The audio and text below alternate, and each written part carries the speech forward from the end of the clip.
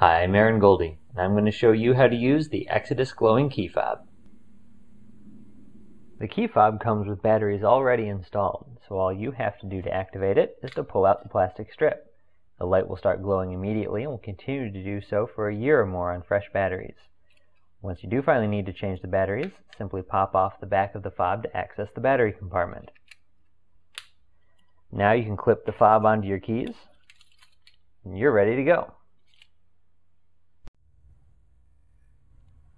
The glow from the fob will be almost unnoticeable in normal light, but accidentally drop your keys in a dark parking lot and the fob will let you find them immediately.